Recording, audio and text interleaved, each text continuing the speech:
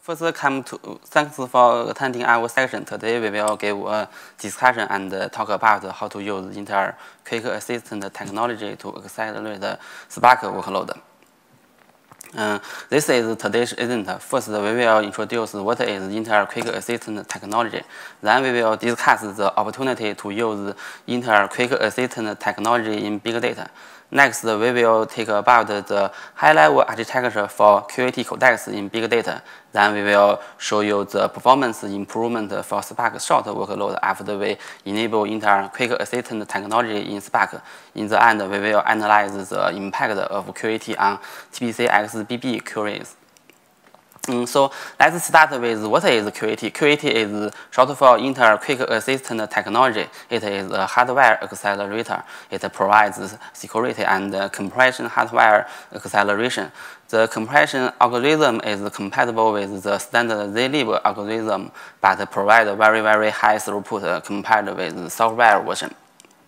QAT make use of a set of API to abstract the hardware. It provides the QATzip library to help the end user to easily leverage the QAT hardware for compression-related developer work. And the driver and its user library is all open sourced, so you can totally free to use them. Also, you can get the more QAT resources from the following website.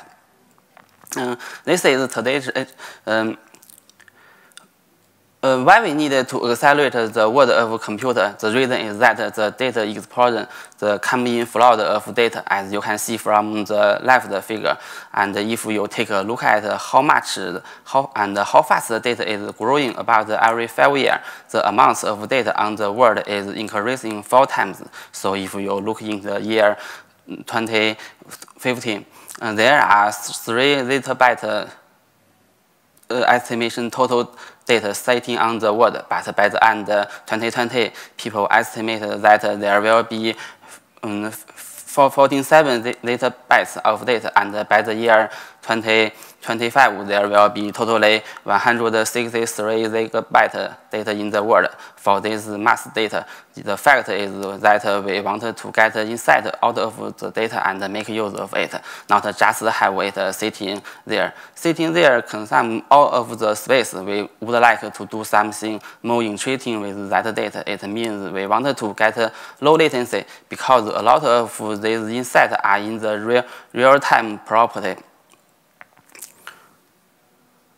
Uh, a user make a request on it and need a fast feedback on getting insight of the data so it can respond to that data and take action. And then our services are all scale out to the global scale and so we need the ability to, to not just get low latency processing, that data will be scaled out and achieve super high throughput across that data. This is a typical workload in big data framework. The workload has two stages. The left map stage and the right reduce stage. Between the two stages, we have a shuffle. For map stage, we have shuffle write to write the intermediate data to the local disk.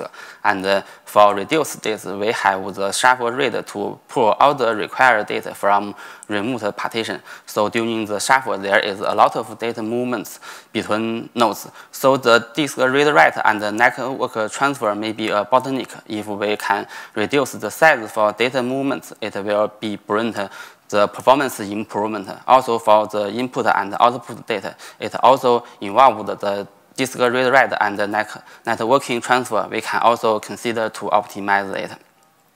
As we talked, there are two type data movement, for input, output, and for intermediate data. For the input and output data, the data is stored in HDFS, and for the shuffle, the data is stored in local disk. So different uh, I/O characteristics for HDFS, it usually sequence read-write, but for shuffle, it always random read-write. So put them all, we can use QAT to accelerate the following phase in data gen. We can use QAT to accelerate the compression during HDFS write. In the map stage, we can first use QAT to accelerate the decompression for read data from HDFS and compression for shuffle write.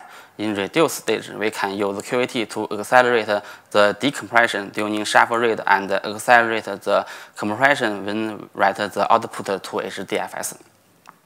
This page shows the architecture of QAT codecs. QAT codecs provide, provide compression and decompression library for big data framework such as Apache Hadoop and Apache Spark to use Intel Quick Assist technology for compression and decompression. The QAT codecs project is open source, so it is totally free for you to use, and you can um, download the source code from the link below there are two layers in QAT codecs. The bottom layer is the native layer. In the native layer, at the bottom is the hardware, the Intel Quick Assist technology module.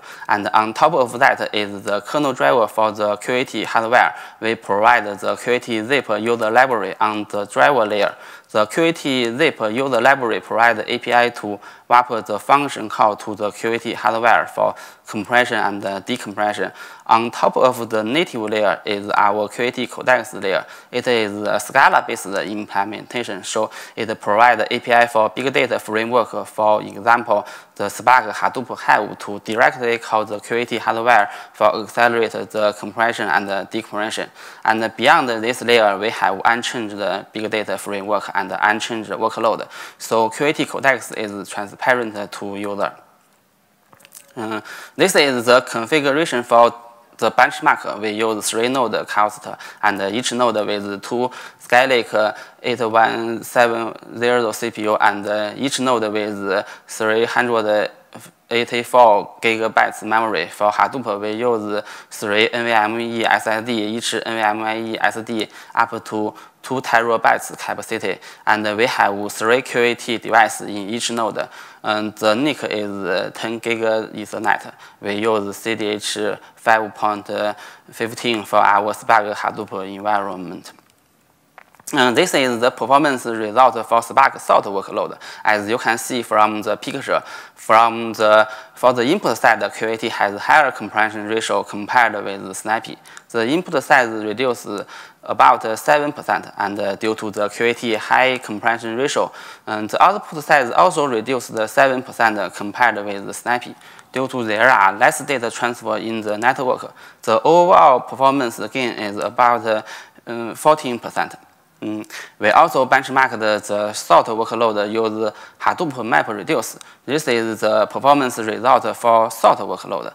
As you can see from the picture, for the input side, the QAT also has higher compression ratio compared with Snappy. The input size reduced about 7%, and due to the QAT high compression ratio, the output size reduced 8% compared with Snappy. Due to QAT high compression ratio and high throughput, the overall performance gain is about 4.4%. This is the performance result for Hive on MapReduce. We run all the TPCx-BB query with QAT and Snappy. As you can see from the picture, um, for the generated TPCx-BB data, QAT has higher compression ratio compared with Snappy. The total data size reduced about 13%. Uh, so if we enable the QAT compression during TPCx-BB, we can get the overall performance gain is about 13%. Uh, now let's analyze the QAT impact on the TPCx-BB query. Uh, so why QAT can provide uh, help to improve the overall performance for the Spark workload. Compared with the Snappy, let's use TPCx-BB query to analyze the performance benefit from the QAT hardware accelerator. As you can see, the key point is that QAT has higher compression ratio than Snappy. We know that the QAT compression algorithm is compatible with the zlib, and the zlib has a higher compression ratio than Snappy, but the CPU-based zlib compression throughput is much, much slower than Snappy. With the QAT hardware accelerator, you can get the same compression ratio as zlib, but since it is a hardware accelerator, so you can get a much more higher compression throughput than Snappy. So we can get a better trade-off between compression ratio and the throughput with the QAT hardware. As you can see, almost all the TPCx-BB table size is lower than Snappy after we use QAT to compress. And so except the TPCx-BB table size is smaller than Snappy, Due to QAT has higher compression ratio, we can also get impact for map join convention, um, parallelism, and GC issue. We know there is a parameter to set the total table size for map join. So if the table size is less than um, this parameter, it will use the map join instead for common join. The high compression ratio also impacts the parallelism. We know ORC field will be split to stripe and the number of stripes will determine the map task number. So high compression ratio will result fewer stripes than fewer tasks. Uh, for example, from the left, we know that for the same 100 kilo recorder, the total field size for Snappy is about 256 megabyte, but for QAT, it only has 180 megabyte. So for Snappy, it has four straps, but for QAT, it has only has three straps. So in that case, QAT parallel is lower than Snappy. Uh, let's talk more about in the following slide. Now let's talk about the join impact due to the QAT high compression ratio. As we know, for join operation, the map join is faster than common join, but map join only for small table. So if the table size is bigger than the threshold, we will still use the common join as you can see from the uh, summary for the table size.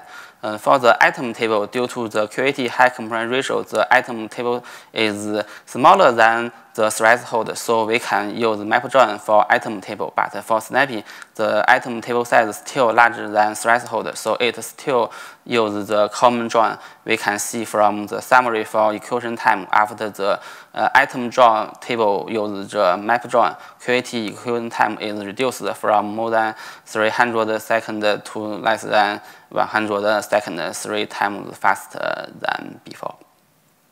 Um, though map join is fast, but sometimes it will bring the GC issue, which will cause performance drop due to the long GC time. As you can see, for Snappy, all three joins use the common join, but for QAT, all the joins use map join, so it needs lots of heap space. But due to there is no not enough memory, the memory will be used soon, so the full GC became very frequent in that case. More GC time in QAT than Snappy, which caused the performance drop.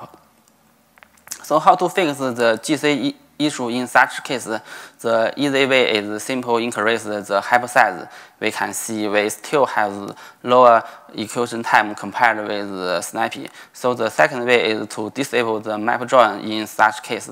We can see after we disable the map join, and the execution time is lower than Snappy. Mm. Let's see some system metrics for Snappy and QAT. As we know, QAT has higher compression ratio, so the total data needed to read or write to disk is much smaller than Snappy. So from the system metrics figure, we can see for Snappy, there is a lot of I.O. wait time in CPU utilization, but for QAT, we nearly can't see I.O. wait time in CPU utilization. So for QAT CPU utilization, it is higher than Snappy due to the less I.O. requests. We can also get confirmed from the I.O. request figure. You can see Snappy has much I.O. requests than QAT. Uh, from this table, we, uh, from this picture, we can see if we have no I/O wait, the both has less uh, I/O requests, so QAT can help uh, Spark workload by reduce the data we need to read write, so to reduce the I/O wait. Um, that's all. Thank you.